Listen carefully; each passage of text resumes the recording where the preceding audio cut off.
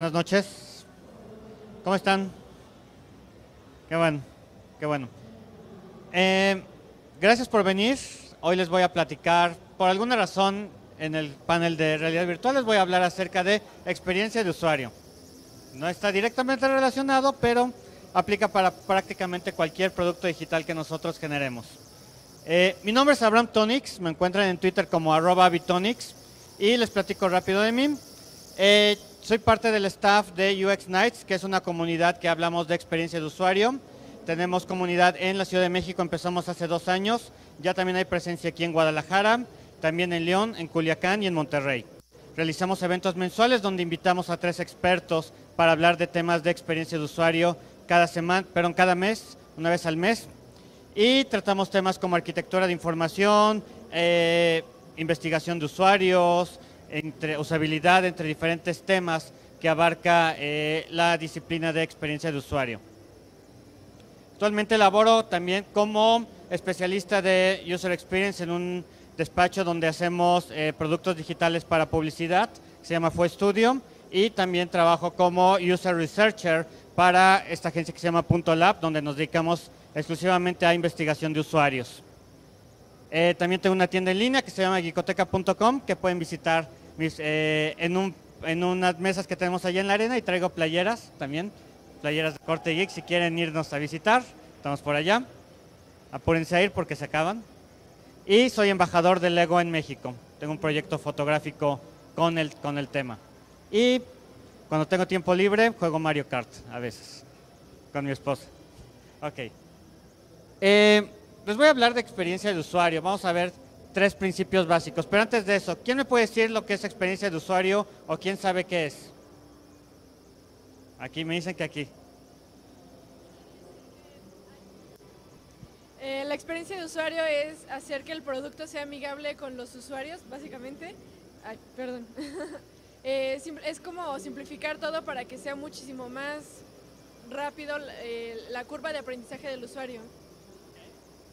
Ok, esa puede ser una, una buena opción. ¿Alguien más que quiera opinar? ¿Alguien que sepa qué es experiencia de usuario por acá? A ver. Eh, es, como, es como el usuario disfruta tu producto, cómo lo, lo consume. Okay. Cómo el usuario disfruta y consume tu producto. ¿Alguien más quiere opinar? ¿Alguien más tiene una definición? Una, ok, una acá y otra acá, rápidamente. Es cuando, por ejemplo, tu, tu software, tu producto va a hacer que el usuario sienta algo. Lejos de que sienta algo bueno o malo, tienes que hacer lo que se relacione con él para que tenga un efecto en el usuario. Ok, muy bien. Y me quedaba una por acá. A ver, por acá, por acá, por acá. Eh, yo diría son todos los aspectos eh, que están involucrados en la interacción entre un usuario y un objeto, el que sea, porque pienso que no solo es en digital, sino a veces también, no se entienda o demás, todos los aspectos cognitivos o técnicos que, que existen en esa relación. Ok, muy bien. La verdad, todos, todos, todos tienen un aspecto más o menos bien definido de por dónde va. Sin embargo, en algunos casos es un poco más sencillo. Y antes de ver la definición, quiero platicarles estos tres principios básicos. El primero, antes de verlo, que la, experiencia de usuario es una fuerza del bien. Eso hay que, recordarlo siempre. Pase lo que pase, el tener una buena experiencia de usuario, el invertir en experiencia de usuario, siempre va a ser para bien. La segunda es que el mundo necesita más experiencia de usuario o mejores experiencias de usuario definitivamente. Eso, eso es, un, es un hecho. Y finalmente, tú puedes hacer que suceda. Tú puedes hacer que suceda, tú también, y hasta tú también puedes. Entonces, hacerlo. Ok, entonces, ¿qué es UX? ¿Qué es experiencia de usuario? La definición más sencilla es esta. Es acerca de cómo se siente una persona sobre el uso de un sistema o tecnología. Habla, me decían aquí que no fuerza tiene que ser sobre tecnología. Sin embargo, y es verdad, no fuerza tiene que ser así porque cuando voy a un restaurante vivo una experiencia, cuando voy al cine vivo una experiencia, pero muy específicamente para lo que nos atañe en este medio donde estamos, en este evento, nos referiremos a tecnología, porque es prácticamente a lo que va, este, es más importante. Y para lo que ahorita vamos a ver, hay muchas metodologías y muchos caminos. Ok. ¿No avanza? Ahí está. También Esto es importante, la experiencia de usuario resalta los aspectos vivenciales, afectivos, significativos y valiosos de la interacción humano-máquina y de propiedad de producto. Hace muchos años, antes de que se pusiera de moda experiencia, el término de experiencia de usuario, hace muchos, muchos años, les hablo hasta desde los años 70, pueden encontrar, o, de- o o previos, hay estudios sobre lo que se llama interacción humano-computadora, en donde nosotros, en donde hablan precisamente cómo los humanos interactuamos con las máquinas, con las computadoras. Y es interesante porque muchos de estos estudios no han cambiado con respecto al tiempo, hay muchas constantes que siguen siendo lo mismo. Y es algo interesante porque a fin de cuentas, no importa cuánto tiempo pase, hay comportamientos humanos que no cambian. Y eso es bastante interesante conocer. Los invito a que conozcan el, el concepto. Ok. Ah, para acá. Ok.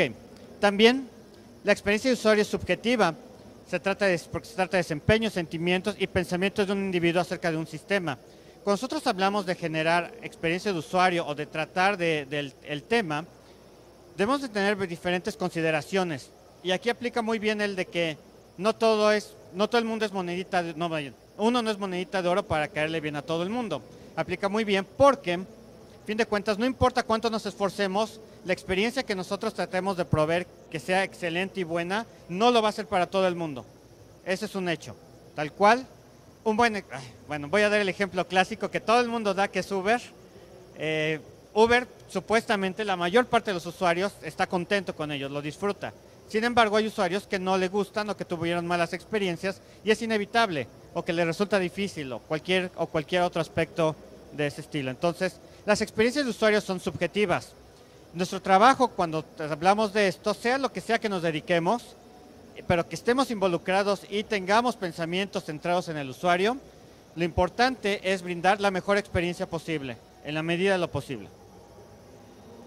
Y también la experiencia de usuario es dinámica, cambia con el tiempo, a medida que cambian las circunstancias, y esto también es realidad. Un buen ejemplo de esto es un automóvil. Aunque es una metáfora, el automóvil es, una, es, un, es perfecto en cuestiones de experiencia de usuario en muchos sentidos. Está hecho perfectamente a un ser humano, el volante, la posición, todos los elementos o casi todos los elementos en general de un automóvil están hechos para que el un humano interactúe bien con él y que siempre tenga control con él y que sienta eh, que realmente es una experiencia satisfactoria. Pero la experiencia con el tiempo no ha sido siempre la misma. Nosotros podemos observar en la evolución de los automóviles cómo efectivamente ha ido cambiando con el tiempo. Desde el primer automóvil de- del señor Benz, que está allá arriba, que ni siquiera tenía suspensión, que ni siquiera tenía un volante, tenía una palanca con la que se viraba la dirección y que era más parecido a una carreta, pero a fin de cuentas es un automóvil, a cómo ha ido evolucionando a convertirse en carrozas, también mucho más sofisticadas, a un Volkswagen que todos nos subimos, que la experiencia es única en ciertas formas, y por supuesto hasta los carros autónomos, que aunque ahorita ya no son así, los carros autónomos, me gusta más esta imagen, eh, porque lo ejemplifica más por haber sido el primero. Estos carros que se pueden ya manejar solos, tal cual. Y a fin de cuentas ha ido si- haciendo dinámica, y lo que vivió señor Benz con lo que ahora provee Google o Tesla no es exactamente lo mismo.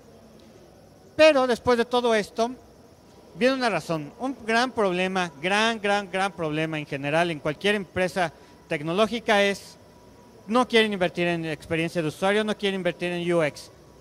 Pero ¿por qué sí sería bueno? ¿Alguien puede decirme? ¿Alguien tiene una idea? Por acá. Si tu aplicación tiene un buen, bueno, si tu aplicación tiene un buena, una buena experiencia de usuario, es más fácil que un usuario lo recomiende a otro, entonces tu aplicación va a llegar a más personas, entonces es como vas a vender más fácil tu producto. Exactamente, y eso lo podemos traducir de otra forma, mucho mejor. La razón por la cual hay que invertir en User Experience es ROI, que es retorno de inversión, o sea, dinero. A fin de cuentas, bueno, no fuerza de dinero, el retorno de inversión puede venir de diferentes formas, pero una de las formas normalmente y más comunes, o que podemos convencer más fácilmente, es el retorno de inversión. ¿Cómo puede venir el retorno de inversión?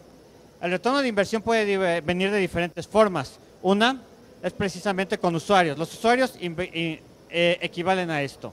Y puede venir gracias a que provean sus datos personales, esa es una forma, a poder obtener datos personales, un formulario de registro en donde yo necesito algunos datos para contactarlos y venderlos un servicio, agendar una cita, cualquiera de esas cosas y después pasar eso a un CRM. Esa es una forma de ROI.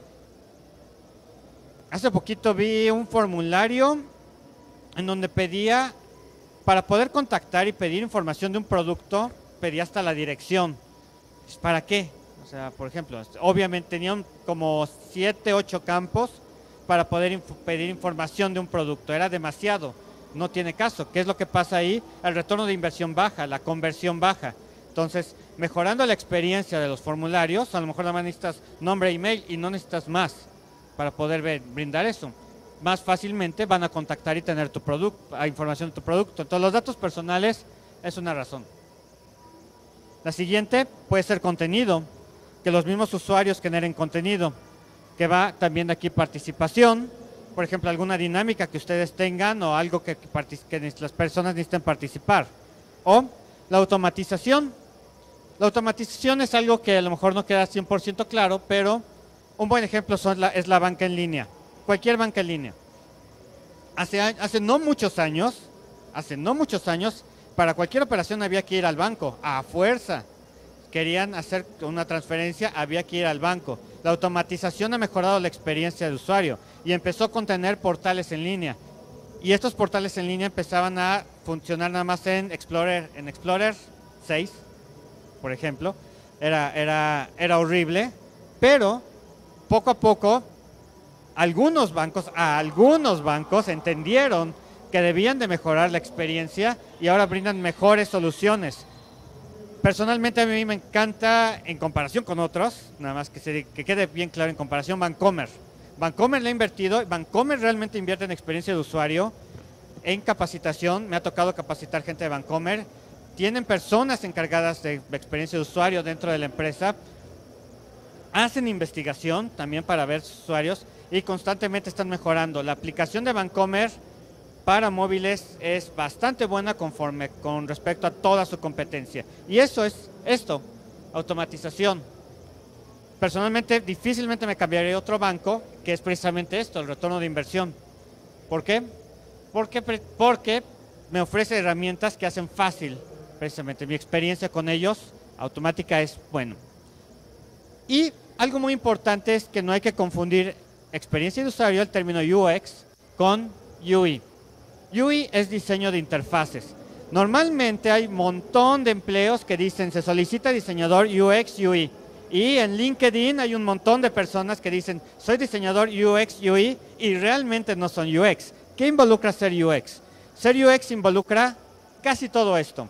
Y ser, ahorita les cuento más o menos, y ser UI implica saber de diseño de interfaces y diseño visual. Pero para saber de UX realmente necesitamos hablar de eh, conocer a los usuarios. Para ello necesitamos saber acerca de investigación de campo, entrevistas cara a cara, creación de test de usuarios, eh, recopilar información a través de estadísticas, creación de personas, ahorita les hablo de esto, diseño de producto, escritura, bla, bla, bla, usabilidad, arquitectura de información, bla, bla, bla, bla, bla, eh, copywriting, presentar, eh, etcétera, etcétera, etcétera. Entonces, si se dan cuenta, no nada más es esto cuando hablamos de UX. ¿Sale? Ok. Este, este se coló aquí. Este slide se coló aquí.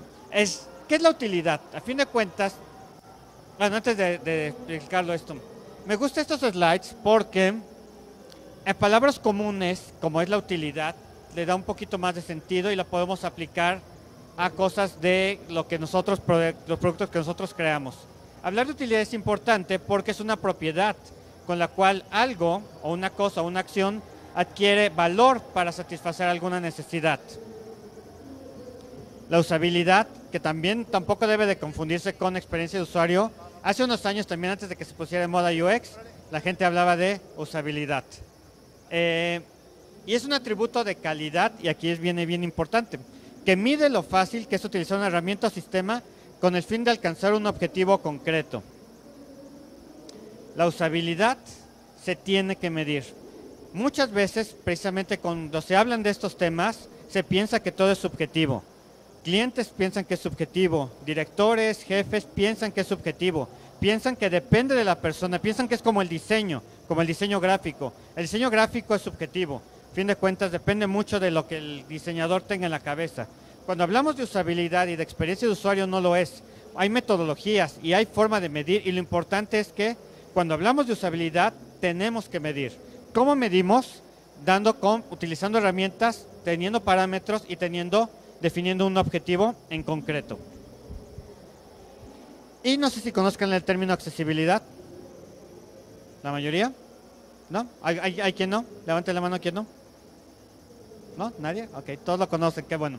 Ok, que es el grado que todas las personas pueden utilizar un objetivo, visitar un lugar o acceder a un servicio independientemente de sus capacidades técnicas, cognitivas o físicas.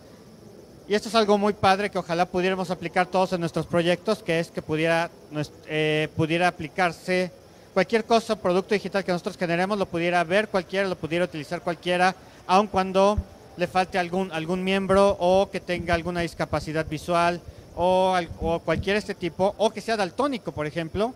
Hay muchos sitios que no consideran a los daltónicos y hay un gran porcentaje de daltónicos. Por ejemplo, está, hace poco estaba leyendo que los call to normalmente muchos call to actions, botones, se hacen en verde, pero la mayor parte de los, un porcentaje mayor de daltónicos no alcanzan a ver el verde. Entonces es un problema cuando el botón es verde y no se distingue exactamente qué es eso. Entonces hay que, aunque pudiera ser verde, a lo mejor las letras deben de ser grandes y contrastantes para poder entenderse que sí es algo cliqueable y no depender de la forma del botón y sobre todo no depender del color cuando nosotros estamos creando. Y finalmente quería llegar a esto que es diseño centrado en el usuario. Cuando nosotros trabajamos productos digitales debemos de adoptar esto, tal cual, en donde lo más importante son las necesidades, requerimientos y limitaciones de los usuarios. Cada paso. Y no solo se requiere visualizar cómo los usuarios utilizan el producto, sino también, y esto es importante, probar la validez de las suposiciones realizando pruebas en el mundo real con usuarios. Y esto es algo que nos saltamos, y nos lo saltamos abismalmente porque, eh, porque esto cuesta dinero y cuesta tiempo. Bueno, si cuesta tiempo, cuesta dinero. Entonces, retrasa los proyectos aparentemente. Ahorita les voy a platicar por qué es mejor invertir en esto. Y les hablaba hace poquito, de, hace, poquito, hace unos momentos, de que hay metodologías, y sí las hay. Esta es una de ellas, en donde nosotros conceptualizamos cómo va nuestro proyecto desde lo abstracto hasta lo concreto, desde el concepto hasta la ejecución.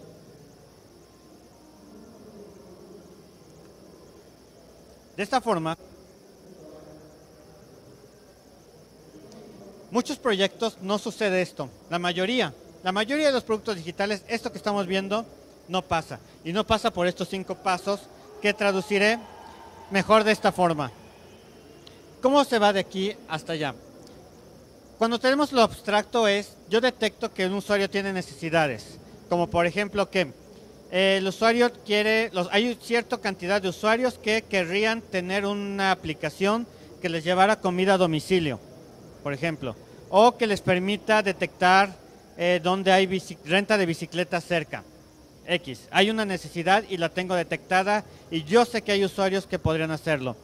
O simple y sencillamente hay alguien que tiene una idea que dice, necesito un nuevo sitio web para mi marca que es una transnacional y entonces necesito un nuevo para el mercado local necesito un sitio, cualquiera de esas dos, eso es lo que se hace. Y se marcan cuáles son en general los objetivos del producto. Muchas veces se saltan esto. Aunque parezca mentira, la idea no queda bien definida y no se brifea correctamente. Y una vez hecho eso, se pasa al siguiente punto, que son las especificaciones de funcionalidad y requerimientos de contenido.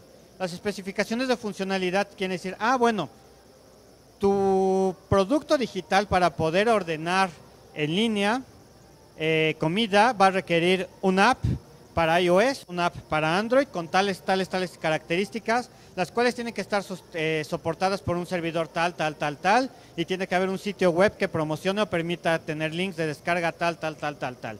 Para ello voy a necesitar tales cantidades de contenido y necesito a alguien que me ayude a generar textos, necesito alguien que genere imágenes, necesito que genere alguien videos, recorridos virtuales, etcétera, etcétera, cualquier cosa que nosotros necesitemos para generar nuestro producto. Eh, de ahí, una vez que tenemos definido esto, que pasamos a esto que es el diseño de interacción y la arquitectura de información. La arquitectura de información puede ser un mapa mental donde tengo ubicadas todas las secciones que va a haber. Puede ser eh, un, un mapa de sitio, puede haber muchas formas, puede haber otro tipo de requerimientos. Y el diseño de interacción me va a marcar cuáles van a ser los flujos que van a seguir mis usuarios. Se registran este paso, este otro paso, este otro paso. Ya una vez que están registrados van a hacer esto, esto, esto para pedir y se marcan esos pasos. Después de eso viene el diseño de interfaz, el diseño de navegación y el diseño de información. En estos dos puntos lo que hacemos es wireframes y prototipos. Y hasta el final hacemos el diseño visual una vez que hemos hecho todo esto. Y no solo que hemos hecho todo esto, que lo hemos validado. Ahorita les platico de ello. Y normalmente la mayor parte de las personas se salta todo esto. Pasa de aquí a un Photoshop, así de le dicen al diseñador, hazte un Photoshop de las interfaces, hazme tres, cuatro pantallas, ok, ya, muy padre, ahora pásalas al desarrollador y ya. Y eso que acarrea infinidad de problemas, infinidad. Por mencionar dos en especial. El primero, que los desarrolladores no tienen todas las pantallas completas. No saben con qué van a trabajar. No saben los flujos. No se les que de repente, ay, no hice la pantalla de, de recuperar contraseña. No se diseñó, pero se tiene que diseñar y tiene que ir.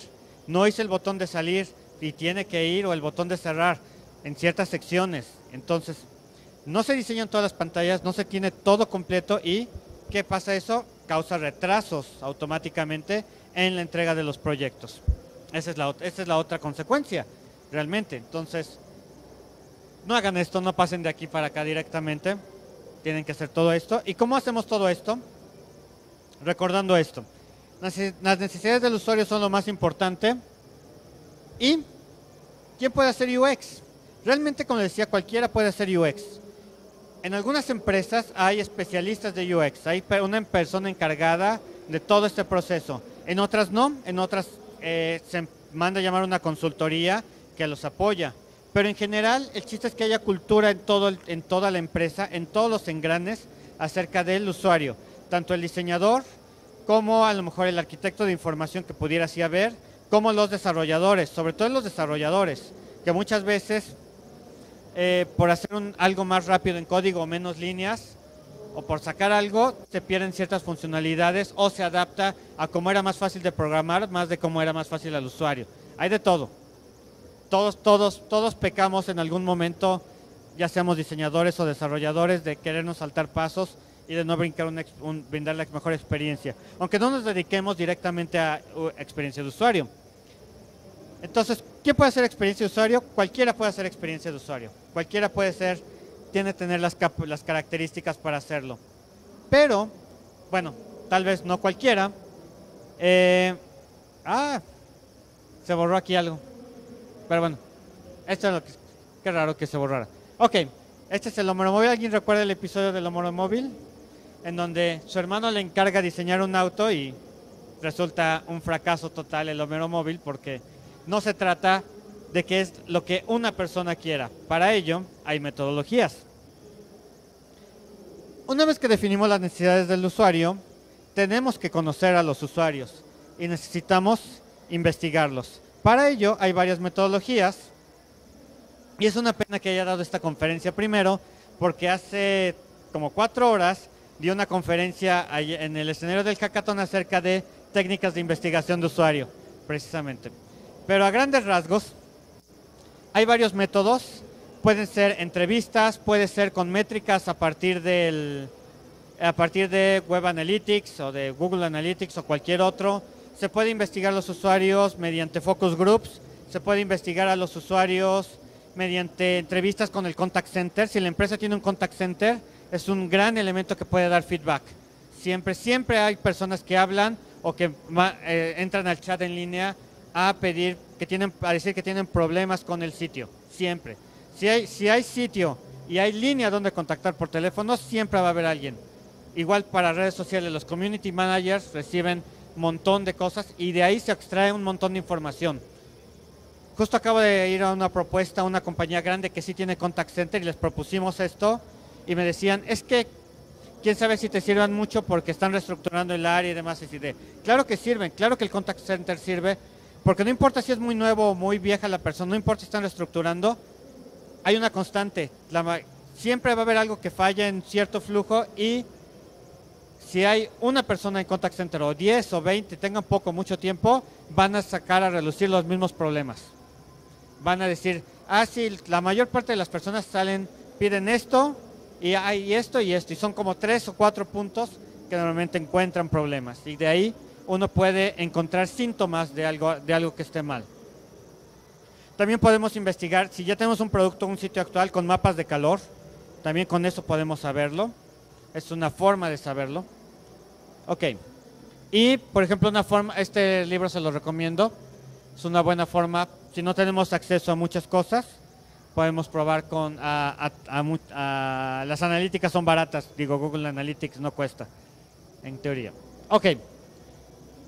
Y una vez que sabemos quiénes son nuestros usuarios, bueno, que ya investigamos más o menos, y eso les platicaba a unos chicos en las mentorías del hackathon, ya más o menos que recopilaron su información de quiénes, de quiénes están hablando, quiénes son, definimos lo que se conocen como personas. ¿Han oído hablar de esto? ¿Algunos sí? ¿Algunos no? Ok, por allá sí. ¿Para qué me sirven las personas? Para poder ponerle una cara y decir casi casi como que lucha por él. Así de, sin, sin de cuentas.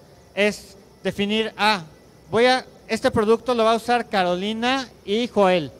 Ella tiene 27 años, él tiene 32, ella es profesionista soltera y él tiene casado dos hijos, más o menos. Tienen estos perfiles, se toman unas fotos cualquiera de internet, no importa, más o menos que definan quién es la persona, se toman fotos de, este, de qué les gusta o más o menos datos se perfilan. ¿Para qué? Para que cuando estemos desarrollando el proyecto no estemos hablando del el usuario o, como decía hace rato también a otros chicos, es no, pues no más lo que a tu, así es que eh, mi papá sería el, usuario. No, no, no, no es tu papá, no es tu primo, no es tu amigo, no eres tú, que es mucho peor. El decir yo haría esto, no. Ante la duda de un flujo, de un journey de acciones, ante la duda es ¿qué haría Carolina? ¿Qué haría Joel? Y normalmente estos perfiles se imprimen y se pegan en una parte, en donde todo el tiempo nos estamos acordando que por ellos es con por quien estamos haciendo el producto y que ellos son los que van a usar el producto. Son personajes ficticios, pero nos hacen que no perdamos el foco de lo que estamos desarrollando. Y estos son journeys que pueden estar enfocados precisamente al usuario. A Francis le gusta esto, bla, bla, bla, y este es el, flujo que tendría él en específico. A lo mejor él tiene un flujo y ella tiene otro flujo diferente. Este es otro, otro tipo de perfil en donde este es más específico y a lo mejor pone el nivel de... Eh, ¿Dónde está? ¿Qué dispositivos puede usar? Sus necesidades o su relación con la tecnología. Aquí está. Uso de la tecnología, él es avanzado. ¿Qué tanto usa Internet? Etcétera, etcétera. Otro, otro ejemplo. Si no tiene información de usuarios, por cualquier cosa que no pudieran recopilar información, una buena opción es lo que se conoce como protopersonas, que es lo mismo definir un perfil, pero con supuestos. ¿Sabes que no tengo información completa o solamente me dieron un demográfico de que son personas adultos de 25 a 45 años que les gusta vivir la vida al máximo? Y eso es lo único que tengo. Pues más o menos es lo que puedo poner y tratar de enfocarlo más, pero es mejor que nada. Es mejor que, ser, que seguir hablando al, al aire. Una vez que tenemos definido esta parte, pasamos a la siguiente, que, esto era antes, que era precisamente conocer las necesidades del usuario. Ya, ya, ya me tomé bastante y no hemos pasado del primer paso. Ok. El siguiente, como les platicaba, son las especificaciones de funcionalidad, en donde sí decimos, armamos un documento con todos los detalles técnicos que debemos de tener. Un servidor de tal, tal, tal, tal, tal y tal características que sea escalable, a lo mejor lo tenemos en nube, etcétera, etcétera, etcétera, y va a ser con, con la nube de Amazon o, cualquier otra, etcétera, etcétera, y debemos de tener en cuenta eso. Los requerimientos de contenido igual, saber desde el principio qué tipo de contenidos voy a necesitar. Igual no sé que si necesito 10 o, o 20 imágenes o 300, pero sí, sí, sí sé que a lo mejor necesito retocar N cantidad de imágenes, 200, 300 imágenes, voy a necesitar un diseñador. A lo mejor necesito muchísimos copies, voy a necesitar alguien que corrija estilo. ¿Vale? Ok. Siguiente paso va a ser el diseño de interacción, que como les decía, puede ser así, la, la lámpara no trabaja, está conectada, no, conectar, sí. Entonces, flujos así, tan sencillos, ok, este es demasiado sencillo, pero puede haber de diferentes formas. Y eh, de ahí pasamos precisamente a los wireframes, a los prototipos, que los wireframes pueden ser de esta forma o pueden hacerse en papel. Cualquiera de las dos funciona. ¿Sale? No fuerza tienen que estar en limpio. A mí me gusta hacerlos digitales y a mí me gusta hacer prototipos con una herramienta que se llama Axure. Con Axure hago prototipos interactivos bastante complejos donde puedo meter carruseles, interacciones, inclusive se exporta como un HTML y puede volverse una app este, instalable en sus celulares.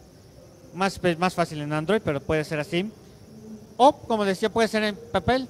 Los prototipos en papel permiten bastantes cosas. La primera, permiten hacer prototipos rápidos. El hacer prototipos rápidos, ay, perdón, el hacer prototipos rápidos me permite saber si me estoy equivocando o no con mis hipótesis que estoy lanzando. Es muy fácil decir, sí, mire, el usuario va a navegar así, así, así, de esta forma, y a la mera hora, cuando ya está todo programado, resulta que las personas no hacen clic donde deberían de hacer clic. Pero cuando ya está todo programado, eso no es posible. ¿Cómo hacemos esto? Podemos hacer prototipos en papel así tal cual como esto. Esto ya está inclusive muy sofisticado. Pueden imprimir una hoja en donde cada una tenga las pantallas y recortarlas y tener el teléfono y nada más recortar por pedacitos. Se ve burdo, ¿no? Pareciera que no funciona, pero sí funciona. ¿Qué hacemos? Manda, déjenme ver qué hora es. Todavía tengo tiempo, sí, muy bien de tiempo. Ok, ¿cómo funciona esto? Esto funciona de esta manera. ¿Alguien ha hecho esto? ¿Sí? ¿Sí? ¿Allá? ¿Sí? ¿Allá? ¿Allá? ¿Sí? Ok. ¿Por acá también? ¿Más o menos? Ok. Pero la mayoría no, ¿verdad? ¿No? Levante la mano quien no. Ok, ya. Expliquémoslo. Ok, para la mayoría. Eh, ¿Cómo funciona esto? Tal cual, se hacen los prototipos y se hacen sesiones donde máximo te reunimos a cinco personas. Esto no es cuantitativo, es cualitativo, es saber detectar ciertas cosas. No me va a servir decir cuatro de cada cinco hicieron esto, no, es los usuarios encontraron estos problemas en general. Eh, los citamos a ciertas horas, hay, hay que citarlos, hay que ser formal, hay que esperarlos, hay que tener un cuarto sin distracciones, que no haya ningún elemento que llame su atención. Cuando uno hace las- este tipo de cosas hay que poner cara de póker para que cuando estén interactuando uno no así de, ah, si te, te equivocaste. No, no, hay que ser cara de, cara, cara de estar serio, hacer cara de póker, no, no hacer que se vaya por los lados diferentes. No decirle, no ser tendenciosa a las preguntas. Hay que irle preguntando o pidiéndole que vaya llevando cierto ritmo. Eh, por ejemplo, en esta se le presenta una hoja y se le dice, por favor, eh, ¿cuáles serían los pasos para registrarte? Y se les pide que lo vaya diciendo en voz alta. Y entonces van señalando con una pluma, es llenar mi nombre, llenar mi email y presionar el botón de continuar, por ejemplo. Esa es una. Entonces, uno nada más va, si a lo mejor no siguen esos pasos que nosotros esperaríamos, no se les dice o se les corrige, simplemente se toma nota. Se toma nota de dónde se atoraron, qué es lo que pasó y se les va pasando. Esto es barato, esto es fácil, esto me permite validar si mi hipótesis de diseño y de usabilidad es correcta o no. Si por donde voy, antes de siquiera meter una línea de código. Esto vale mucho la pena. Eh, hace poco en UX Nights, hace dos meses, vino un chavo de colombiano, vino aquí a México un chavo colombiano que trabaja en Dinamarca como user researcher y él toda su investigación de usuarios la hace así, toda, todo lo hace con no usa una computadora, usa una computadora nada más para hacer sus reportes, pero fuera de eso no usa una computadora para hacer user research. ¿Y cómo lo hace así? Y nos platicó una anécdota muy chistosa, que es, a ver, ¿dónde consigo? Uno de los grandes problemas es dónde consigo usuarios para probar. Entonces, si se adapta, no, obviamente no para todos los proyectos, se adapta, pero si se adapta, lo que él hacía era irse a un Starbucks, comprar tarjetas gratuitas, comprar tarjetas y poner un letrero en una mesita y decir café gratis. Entonces, las personas se acercaban por su café gratis a condición de quedarse cinco minutos a probar con sus prototipos de papel. De hecho, decía que con ellos hacía un iPhone así, pero de este tamaño. Y entonces, como lo hacía grande, llamaba más la atención y la gente se acercaba más y la gente quería participar. Independientemente del café gratis, que no todo el mundo lo aceptaba, esa era una gran ventaja. O sea, ¿cómo consigues usuarios fácil y gratis? Pues quitándote la pena yéndote a un lugar así. Funciona, realmente funciona. Entonces, una forma económica y barata de hacerlo. O, si ahorita ustedes tienen algún proyecto aquí en Campus Party, hace dos años les decía a un chavo también que me preguntaba lo mismo, así de, oye, ¿cómo, cómo ves mi aplicación? Le digo, pues padre, pero creo que deberías de probarlo. ¿Y dónde la pruebo? Pues aquí, así tienes miles, miles de que son, y, su aplicación era perfecta para acá, así de, tienes aquí miles de personas a las que les puedes preguntar, a las que les puedes reclutar, así, para poder hacer investigación. No le preguntes a los expertos, o sea, los expertos te podemos dar algunas recomendaciones aquí y allá, súbele, bájale, pero realmente donde vas a notar eh, dónde está bien o mal, lo que estás haciendo es preguntándole a la gente. Curiosamente se mostró un poquito renuente, como que como que no no no no no creía que realmente valiera la pena. Y después de hacer esto, finalmente a las de mil, finalmente podemos llegar a diseño y a Photoshop. O sea, hasta este punto, no antes. Se vale, porque también lo hemos aplicado, es tener más o menos una línea visual y decir, ah, mira, se generan unas pantallas y este va a ser el look and feel más o menos. Y vamos a tomar esta línea de colores, vamos a tomar esto por acá, pero eso no significa que nos debamos de validar con los prototipos y con lo que nosotros generamos. Ya para concluir, permítanme recomendarles alguna bibliografía si es que van empezando. Este libro es La Onda, es divertidísimo. ¿Quién ya leyó este libro? Ok, unos cuantos. Quien no lo ha leído, no importa qué tan avanzados estén o qué tanto conozcan de experiencia de usuario, es un libro muy sencillo, muy ameno, donde se aprende muchas cosas, sobre todo es ameno, es divertido. Hace divertido.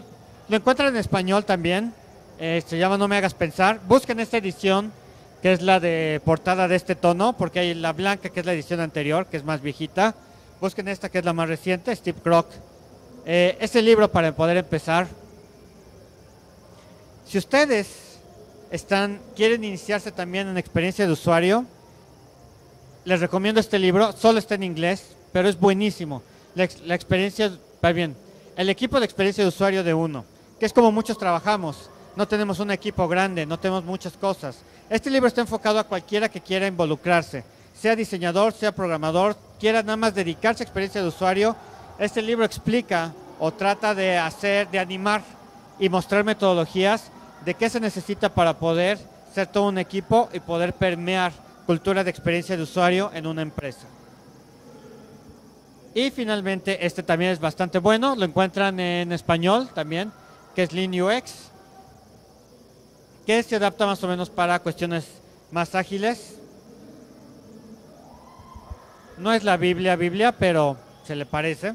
Aquí también. Este y este tienen muchas similitudes.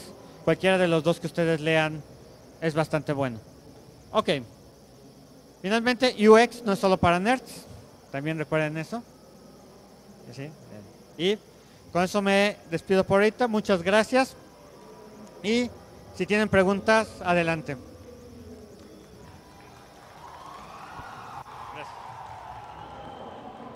¿Alguna pregunta?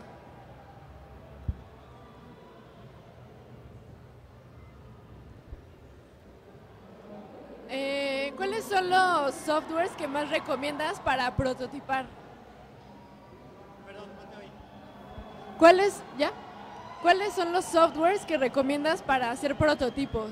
Es que he visto varios como tipo Sketch o el que tú mencionaste, pero más o menos los que tú recomiendes. Ok, software para hacer prototipo. Me vienen a la mente tres. Mi favorito por mucho es Axure. Axure es algo burdo al principio, la curva de aprendizaje comparado con otras opciones es alta, eh, pero el nivel de interactividad que permite es fabuloso. Eh, pueden crear prácticamente sitios o aplicación, sitios web completos que podrían subir y decir, este es mi sitio web que yo hice, sin ningún problema.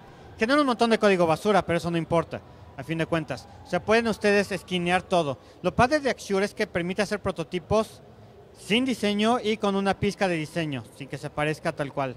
Lo cual, para, para mi gusto, es lo ideal antes de poder hablar de diseño tal cual. Hay otras aplicaciones, otras eh, herramientas como InVisio eh, o como Marvel, se llaman no Marvel de los cómics, sino búsquenlo como Marvel UX o Marvel Prototyping.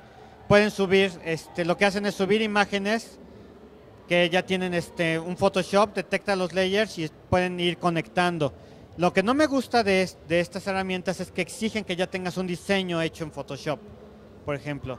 No tiene que estar así el diseño súper bien hecho, pero exige que hayas pasado por otra herramienta y que normalmente tengas que validar a través de eso. No está mal, funciona, pero es una. Entonces, mi favorita sin duda es Axure. Entonces, sería la que yo recomendaría más. ¿Alguna otra pregunta? Por ahí atrás.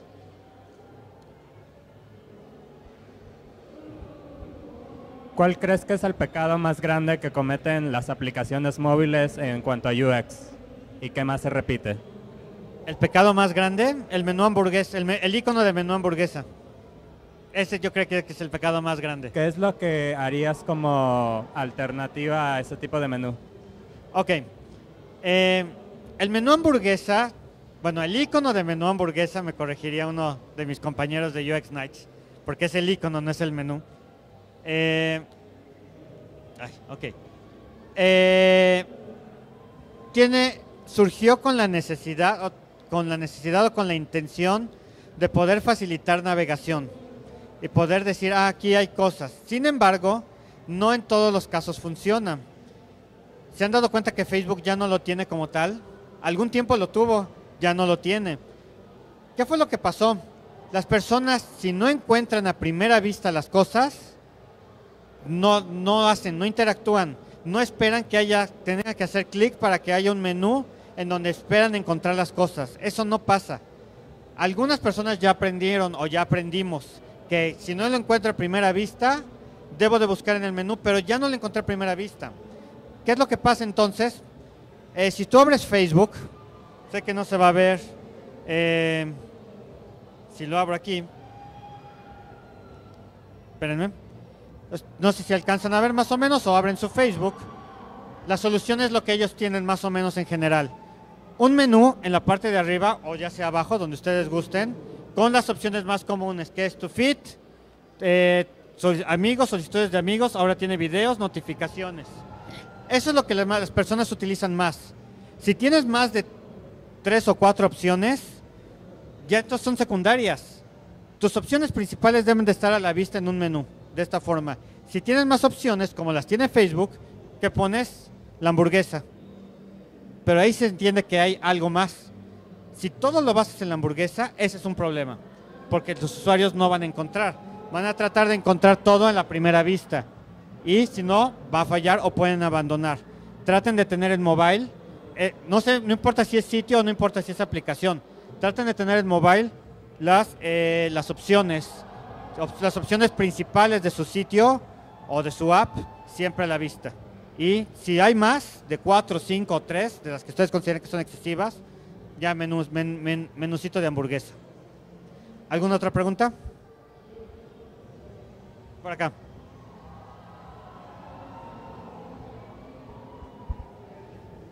Este, bueno, eh, cuando hablabas de hacer el user testing o la prueba de usuario eh, con cinco usuarios, eh, ¿por qué se maneja el número específico de ser cinco? O sea, ¿qué es lo que lo hace como lo ideal?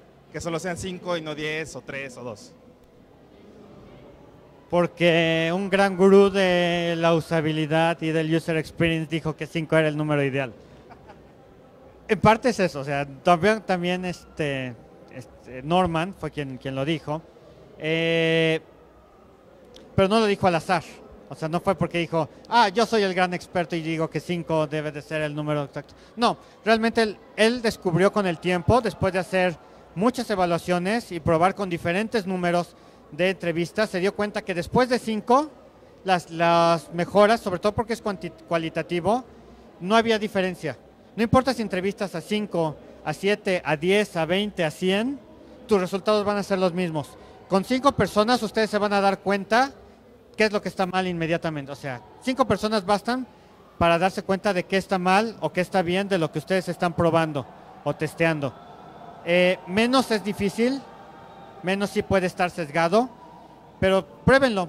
Hagan pues, si pueden, hagan test con cinco personas y empiecen a subirle. Después de las cinco y van a ver que realmente no varía. Todos les van a decir que se atoraron en, en tal paso o que no tuvieron problemas con otro. No necesitan normalmente más. ¿Alguna otra pregunta? ¿No? ¿Nadie? ¿No? Ok. Pues les agradezco mucho. Ahí está mi, mi Twitter es Avitonix. Me encuentran así también en, otro, en Instagram y en LinkedIn. Muchas gracias. Y no dejen de visitar UX Nights. Y también UX México también apoyó con el staff de UX México.